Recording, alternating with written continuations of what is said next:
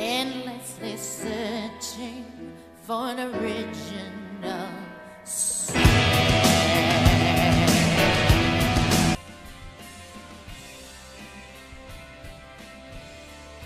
Okay, this one. I'm learning.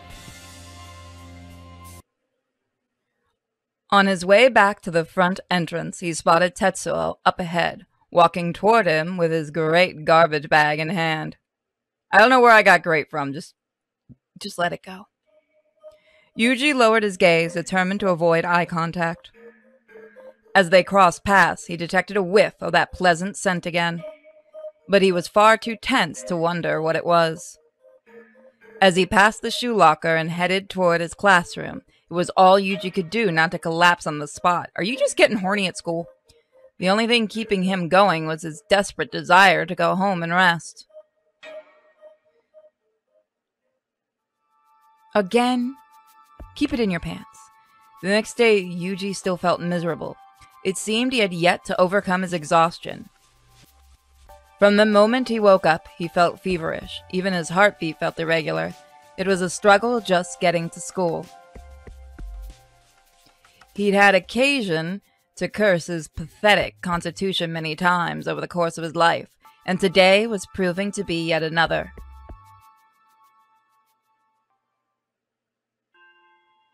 Nevertheless, he managed to get through his classes, though it took every ounce of strength he had. Once afternoon assembly had ended, Yuji headed straight to the garbage cans and started sorting the burnable trash. His condition hadn't improved at all over the course of the day, and contrary, and on the contrary, it felt like it was getting worse. This is a husbando game, yes. He just wanted to go home. Don't worry, you're gonna get your thing afterwards. He sensed Tetsuo's presence, but ignored him. As soon as he was done, he tied up his trash bags and walked out of the classroom. Arriving at the dumpsters, Yuji tossed his bag inside and headed back the way he came. On the way back, Tetsuo was nowhere to be seen. He must have taken a different route. Relieved, he started packing up to go home, but just then Makoto walked into the classroom.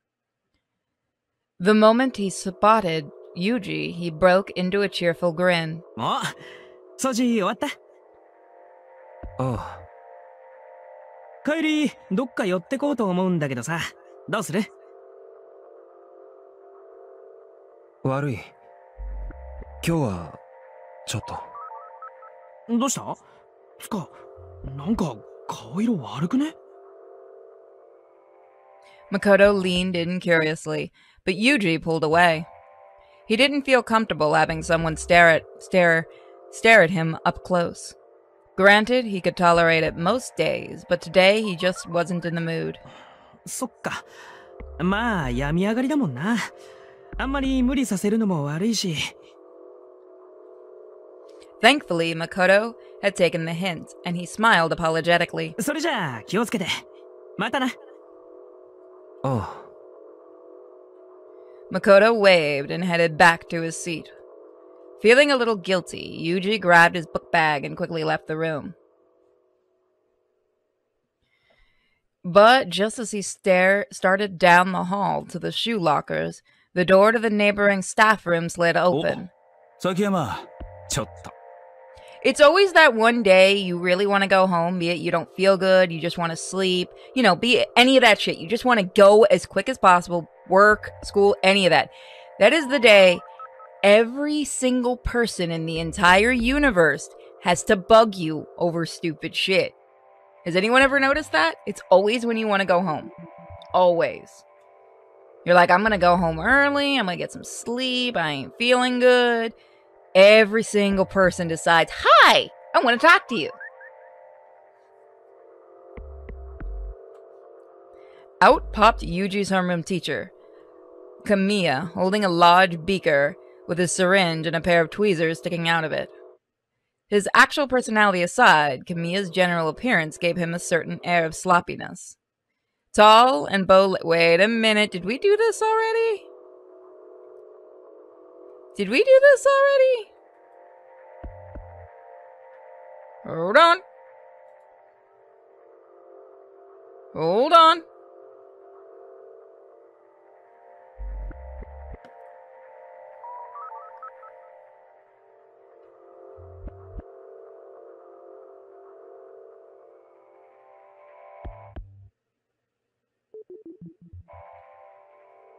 Yep, I'm stupid.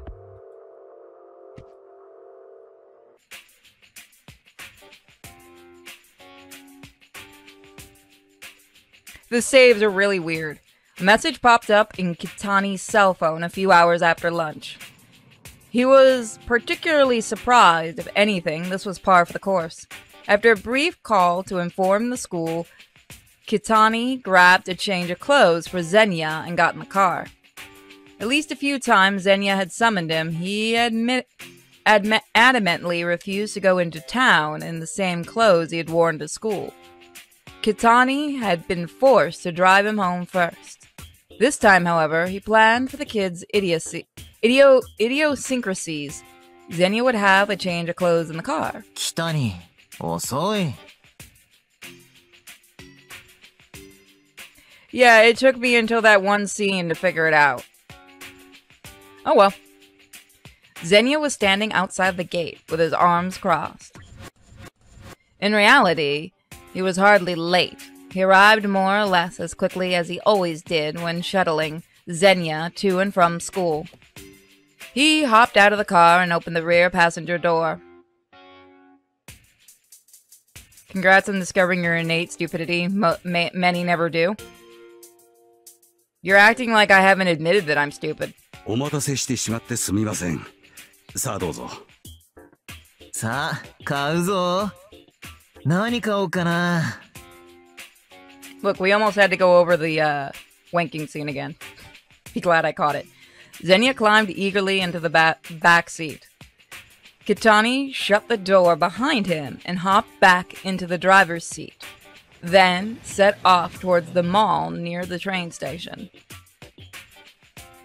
As it turned out, Zenya was a lot more willing to change clothes in the car than he expected.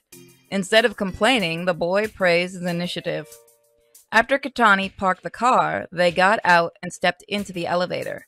The moment the doors opened, again Zenya sauntered onto the floor, bursting with enthusiasm. One by one, he blasted through each boutique, buying almost everything he tried on, the very picture of self indulgence. This man shops like a woman. A dozen stores later, Zenya showed no sign of flagging.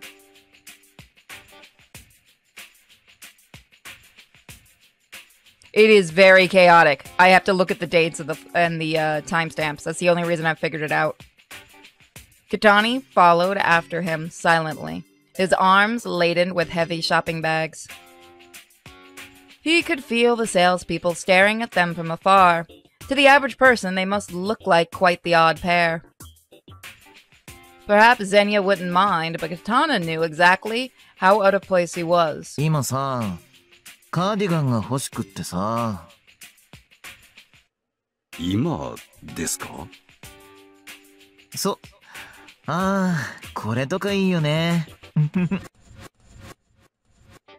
he grabbed a sweater laying forgotten at the bottom of the shelf and giggled to himself. Sure enough, it was light knit cardigan in pastel pink A discount sticker had been slapped over the price tag. Clearly, it was an item that no one else had wanted. これから暑くなりますが。うんだから You can literally buy it and then wear it when it gets cold. カーディガンを買うのは夏が終わってからの方が。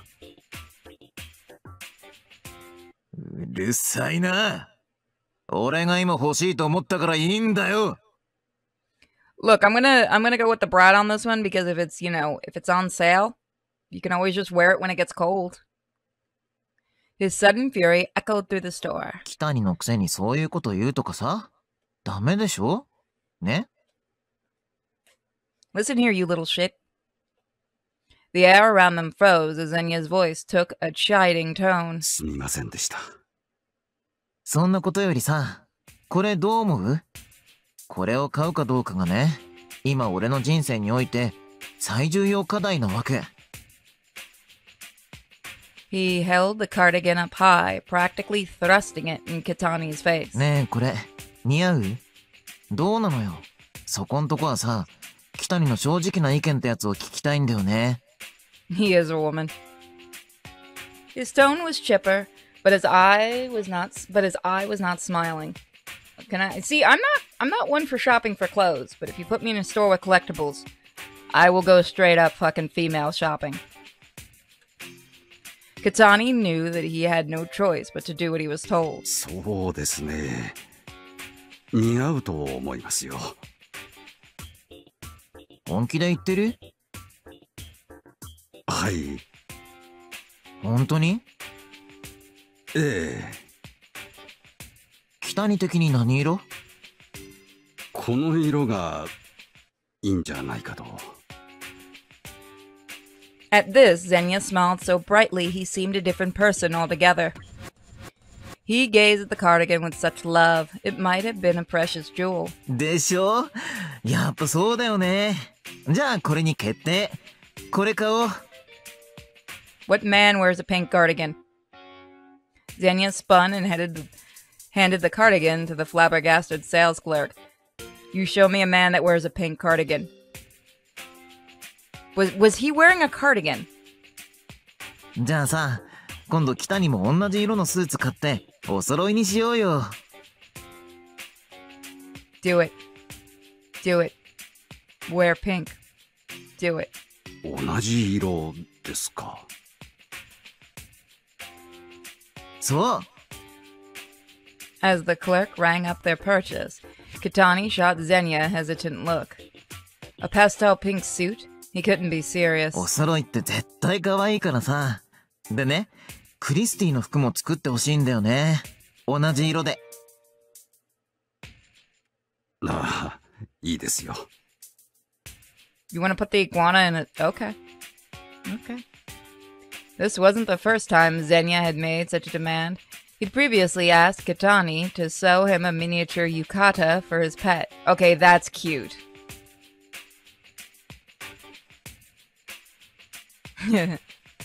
Although Kitani could handle most chores, sewing was not one of his talents. Nevertheless, he'd given it his best shot. After considerable effort, he managed a fairly decent product, and he'd never forgotten the happiness on Zenya's face.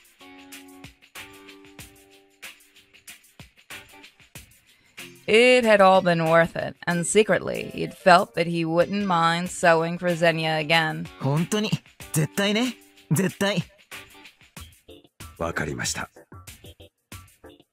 Zenya whooped with joy, grinning from ear to ear. Meanwhile, Kitani took the shopping bag from the clearly uncomfortable clerk. The shopping continued for a while longer. By the time they were ready to head home, the back seat of the car was filled with fat bag, fat shopping bags. After glancing at the digital clock on the dashboard, Kitani stepped on the gas with a hint of impatience. Zenya was sitting in the front, gazing out the window. He'd been quiet for a while now. And so they headed for home beneath the brilliant sunset. Welcome, everybody.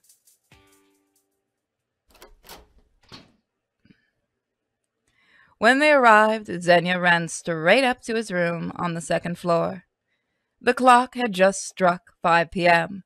It was the it was time for his daily ritual. After an hour or so, Zenya emerged from his room looking haggard. He sat silently at the, di- at the dining room table, sulking. Meanwhile, Kitani did some cleaning and prepared dinner. Now and then he glanced at Zenya, but didn't say a word. At times like these, he knew better than to disturb the young man. Kitani. Hi. That is a gay outfit. クリスティにご飯あげに行く。わかりました。Zenya stood up and left the room. Kitani stopped what he was doing and followed him upstairs. The room at the end of the hall had been set aside for the iguana's use. Inside, Christie had her very own special habitat. The room was humid, with a large glass greenhouse enclosure taking up most of the space. Zenya pulled some green leafy vegetables out of the refrigerator nearby and offered them to the iguana sitting on her perch. Ora, Chris. Gohan da yo. Christy leaned off the perch and secured herself on Zenya's arm and began to eat. Kondo ne. Kitani ga mata Chris no fuku tsukutte kurerutte. Osoroi datte. よかったね。嬉しいね、クリス。As Zenya stroked her back contently, Kitani watched on, feeling increasingly conflicted. That Kitani would grant Zenya's request was a given. Zenya knew this, and still he responded with such joy. Kitani found this painful somehow. Kitani looked up, in the middle of changing Christie's bowl, uh, water bowl. はい。クリスティの世話が終わったら、部屋においでね。Zenya smiled faintly. Hi. Suppressing the urge to panic, Kitani lowered his gaze and nodded. He had a feeling this was coming. Once he was done feeding her, Zenya put the lizard on his shoulder and left the room. Kitani sighed, still holding the bowl in his hands. He could feel his mood growing sour. At this time of day, there was only one thing Zenya would want, could want. One might even have called it Kitani's ritual. Truth be told, even after all this time, he still wasn't used to it. But Zenya would never take no for an answer. Uh oh. Kitani sighed once more and then left the room unleaden, unleaden legs. I don't like where this is going.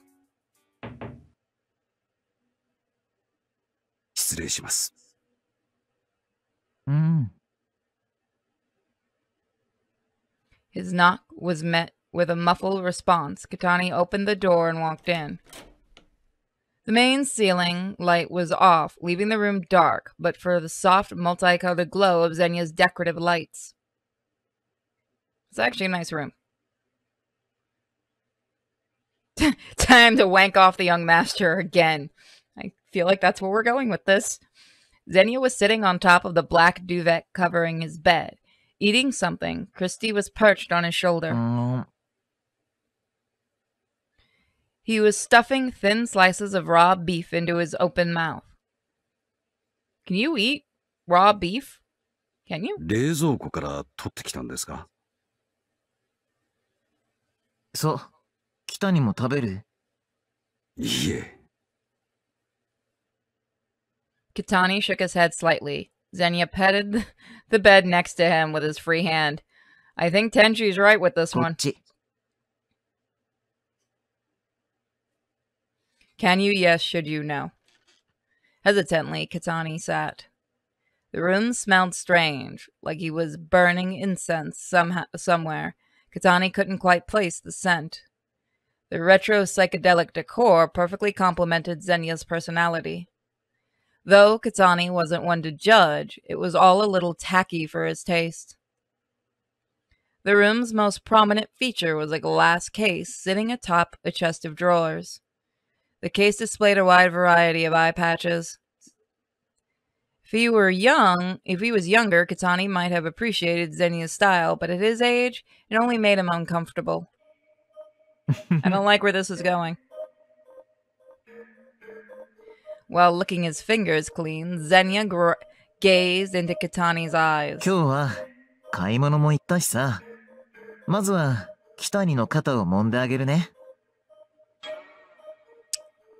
Alrighty then. いえ、そんな。well, this is gonna go exactly where we all thought. Before Kitani could protest further, Zenya hopped up on the bed behind him and put his hands on Kitani's shoulders. もちゃん、本当に。いいからいいから. Zenya repeated himself loudly as he started to rub. Kitani's muscles were tense and sore from days of hard work and the pressure made him exhale, exhale softly. Zenya wasn't especially skilled, but regardless, it felt nice to have his blood flowing once more. I'm not gonna look at the chat. I already know the jokes that are about to hit the chat room. どうよ。気持ちいいはい。As he reluctantly gazed, gave into the massage, a thought occurred to him. His thought was, Has anyone else seen deliverance? Zenya wouldn't volunteer to give him a back rub for nothing. He had to have an angle. I hope I need an adult. sure enough, I felt that. Sure enough. Sure enough, he felt Zenya's breath tickle his ear. Kitani-san, no means no. はい。あのね、ちょっと調べてほしい人がいるんだよね。Oh, is that all? 調べてほしい人ですか I didn't mean to do that. An unusual request. Xenia hardly ever took notice of anyone. Who could he possibly want to know more about? 一個下の学年でね、崎山洋二って言うんだけど、もともとは同じ学年だったんだよね。Hold on.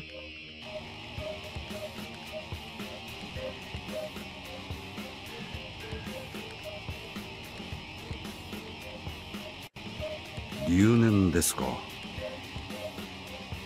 そうそう。なんかさ、体弱いみたい。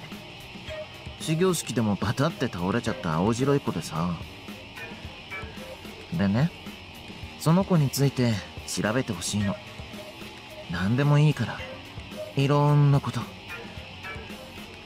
わかりました。Tsukiyama Yuji. The name was unfamiliar. Supposedly, supposedly the young man was sick, but surely there must have been more to him than that if he'd managed to catch Zenya's interest. なんかね、いろいろ同じとこがあるっぽいんだよね。もしかしたらさ。同じそう。俺とお前は同じだぜ、みたいな。Kitani didn't really understand what Zenya was saying. Nevertheless, with a little legwork, he could easily find out what sort of person. And it begins! I want that bloody USA thing. That's actually cool. The hands on his shoulders felt still, fell still. Kitani tensed up slightly as Zenya whispered into his ear. No means no. He moved beside Kitani and peered into his eyes, for a moment, Kitani forgot to breathe. Then Zenya removed his eye patch. Holy shit! Okay. I wasn't expecting that one. Then Zenya. Fuck me! Then Zenya removed his eye patch, revealing the deformity beneath. The skin around Zenya's right eye was red and inflamed, as though it had been burned with hot metal. Flesh bulged from the gaps around his bloodshot eyeball, and what remained of the eyelid did nothing to hide it. Occasionally, the eyeball twitched like a fetus kicking in the womb. The sight filled Kitani with a mixture of emotions. Not quite disgust, not quite fear. No, it was something far more complicated than that. The eye patch isn't just a fashion statement. Not unless he wants to play an alien. Zenya leaned into him like a child begging for candy. He wants the lollipop. Summoning. Some, I made that joke before anyone in the chat could. Summoning all his courage, Kitani cupped Zenya's face in his hands. Then he drew his lips close and gently set his tongue over Zenya's right eye. Why? Why though? Why? That's fucking weird.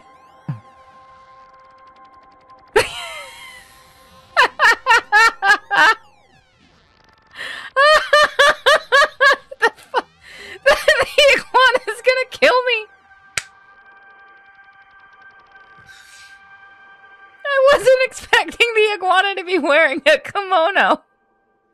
it's got it's got little mushrooms on it. Look at that. Oh. Thank you, Christy. Thank you. Good lizard. Oh, look at her. She does what the guinea pigs do with my hair. Christy is the best little girl. Look at her. She's so cute. Christy gonna get her own spot on the freaking thumbnail. I can get I can get serious again. A shiver ran through Zenya's body as Kitani's tongue brushed the warm mucous membrane. We are going all in on this one, everyone. I hope you don't have anything in you. I hope you're not eating anything. Kitani's instinct screamed at him to stop, but he ignored it and pressed on. It's fucking nasty. He couldn't stop, not until Zenya was satisfied. I'm just looking at Christine now.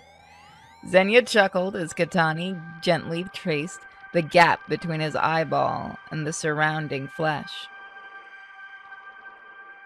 From time to time, Zenya asked him to perform this ritual. No, not a ritual. This was a trial. Zenya always kept his eye covered. He would never reveal it, much less allow Kitani to touch it, unless he was trying to test Kitani's loyalty. Any time Zenya's confidence wavered, he would call upon his servant to prove himself once more. Kitani had been through this many times now, but could never quite come to terms with it. And yet, if it made Zenya feel better, he couldn't say no.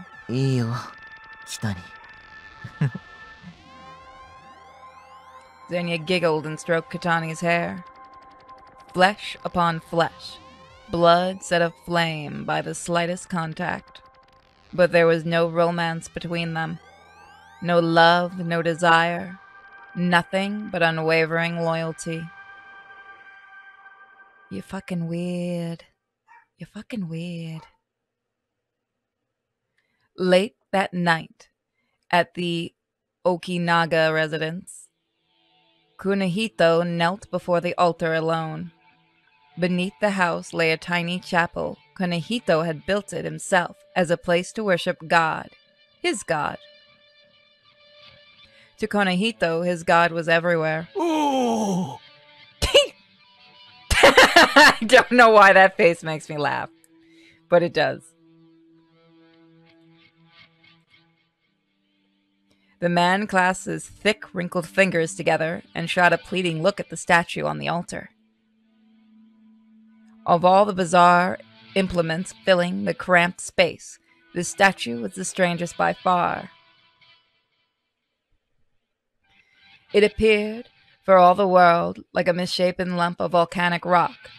If this was meant to be a god, it was surely not a good a god of men. And yet, Kunihito awe was real.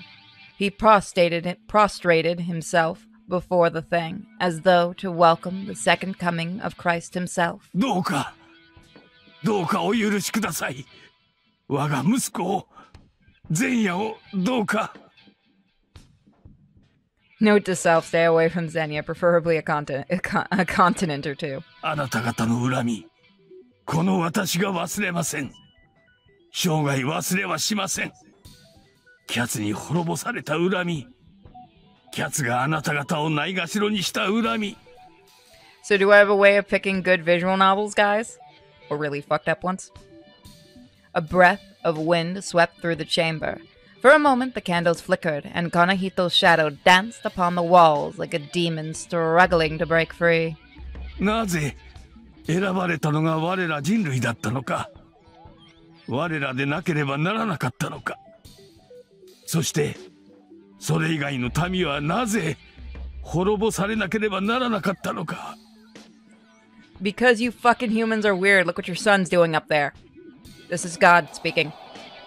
Just then, the, stra- the stronger gust of wind blew through the room, snuffing several candles. Little did he know that was Xenia in the background going.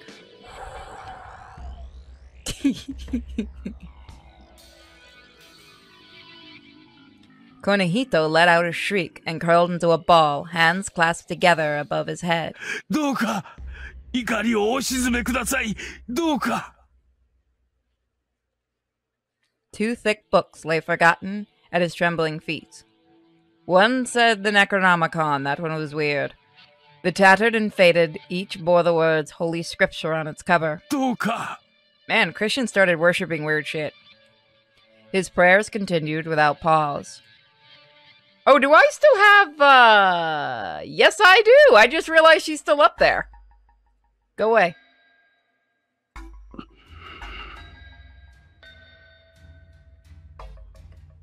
Kitani stood at the entrance of the chapel, breath bated, watching Kunihito with a sorrowful expression. It was pitiful. It was a pitiful sight, to be sure, but the man in there was still the man who'd saved his life. Nothing would ever change that. What nothing would ever change what he meant to Kitani. And yet, it still hurt to see him like this. Every night, at the stroke of twelve, Kunihito would enter the chapel and stay there praying until dawn. Once he finally emerged, pale and haggard, he would sleep, but only for an hour or two. More than anything, Kitani feared his master's health. The longer he kept this up, the more likely he would collapse from stress. But Kunihito couldn't stop. To stop would make them angry, he said. Zenya would be punished, he said. Kunihito was praying to protect his son. I mean, I'm not saying that maybe you should just, you know, let your son. Nah. We wouldn't say that. Zenya despised him, and yet he still cared. But Kunihito's feelings toward his son was not like most fathers. What did you do? Kunihito was afraid of Zenya, and Kitani had begun to realize that this was driving Zenya to rebel even more. But it wasn't his place to interfere. Smack the little shit. All he could do was watch over the broken family and pray that these tangled threads could one day be unwound.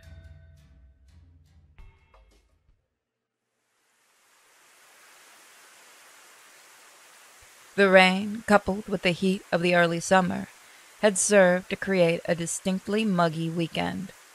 Yuji had only left the house to go to work Saturday night. The rest of, of his time he spent holed up in his room with his aquarium. Outside, the downpour continued unending. Just tapping the glass. Ding, ding, ding. Yuji sat on the so- sat on the sofa, letting his mind wander as he gazed at the faintly glowing aquarium.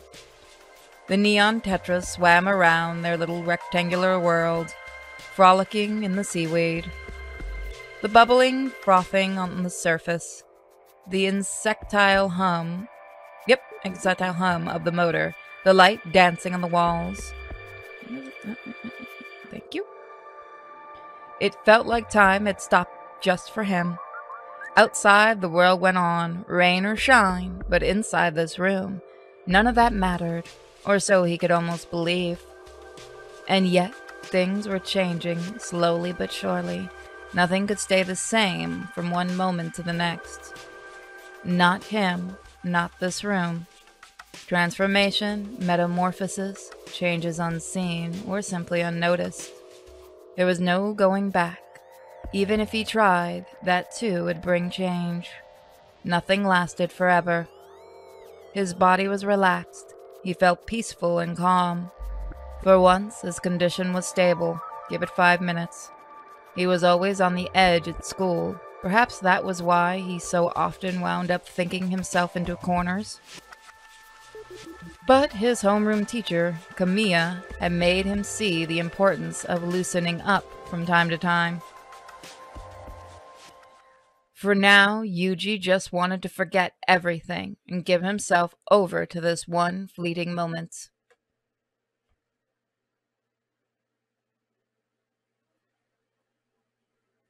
Yuji sat there for hours as his mind wandered.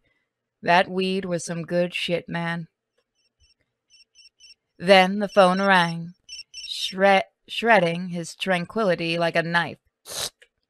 By the way, um, after this, I'm going to show you guys a little bit of a hint at a new sticker coming to the Patreon.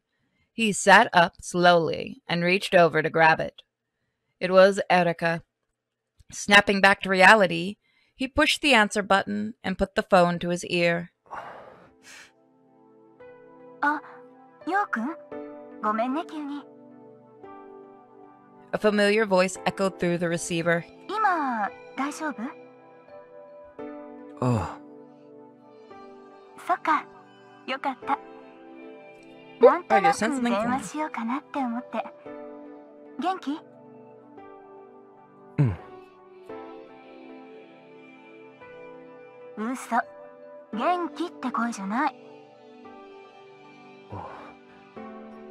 そうかな。うん。疲れてる感じがする。学校大変なの？He shook his head ruefully, smiling. He could never hide anything from her. 久しぶりだからどうしても具合悪いの少しね病院はいやどうして Her turn, tone grew more s- insistent. Yuji wasn't sure what to tell her, but he decided to try anyway. So, yeah, sis, I got really horny in a classroom. That's why everything's been stressful. 通院費バカにならないしまたそういうこと言ってるこれ以上姉さんに迷惑かけられないから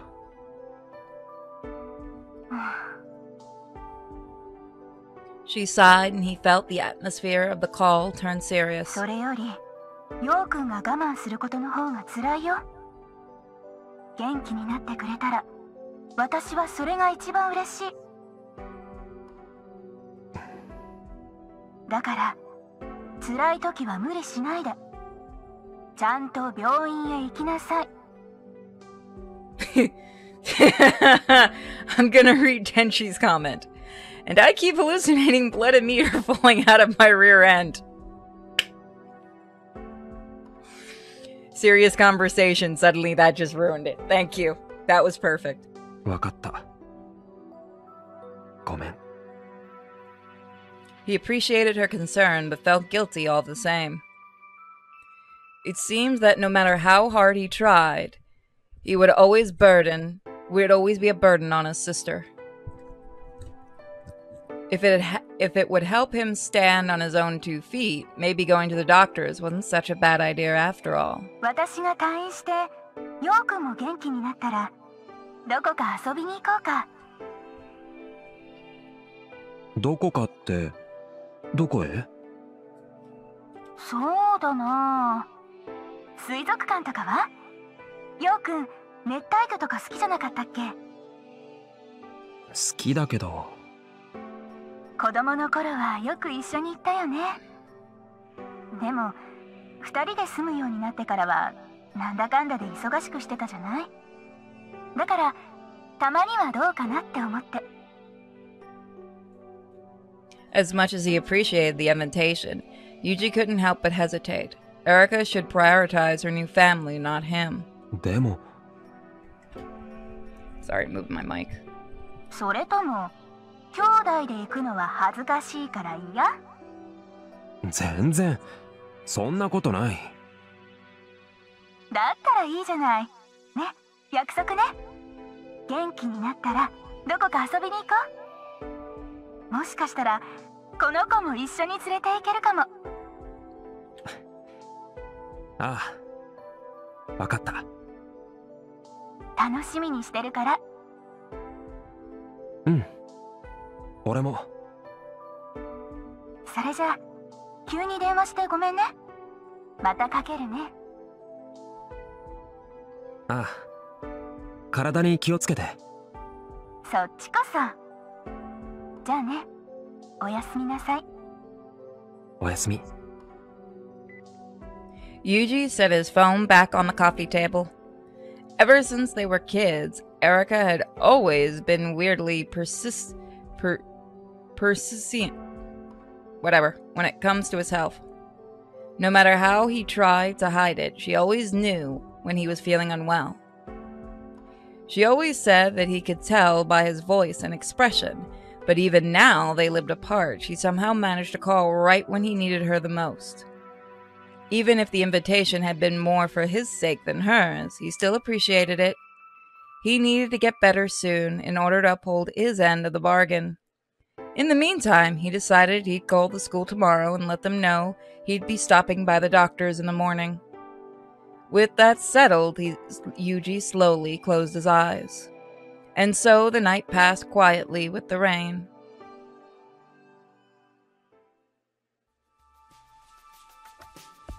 Monday morning rolled around, and after a brief call with the academy, Yuji headed headed to the neighborhood clinic. Let me see. Going. You guys want a little bit of this, a little bit more of this, or should we move on to Sweet Dream Succubus? So we've been going for this for a little while now. I think this is a good stopping point. Sweet dreams. All right.